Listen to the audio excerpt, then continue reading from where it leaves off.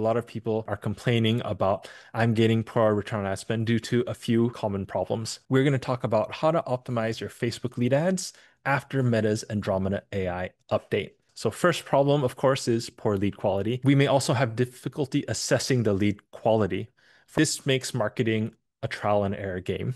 You need to guess the problem. You need to tweak the campaign. You need to try again. We spend a lot of time, we spend a lot of effort, but we don't have a sense of progress. How can we improve this? Stop optimizing on cost per lead. What we want to do is we want to focus on the quality of leads and not the quantity of leads for many of us here, unless we're actively running conversion optimized campaigns, unless we're using Meta Conversions API, our Meta lead ads are still optimized on cost per lead, whether we know it or not. Meta has a lot of data. Meta has the data on your ad impressions. They know who saw your ad. They know who clicked. They even know who filled in the form.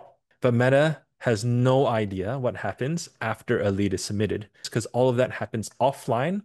So we can actually tell Meta which leads are good for our business and this creates that feedback loop to train and optimize Meta's ad algorithms. And again, this is going to be much more important with the Andromeda update, with Advantage Plus, where the algorithms and the AI are going to be doing a lot more work in determining who sees your ads and how they perform. In Meta Ads Manager, there's a performance goal setting, and you can actually click and see this option to instead of maximize number of leads, which is the default, you want to maximize the number of conversion leads.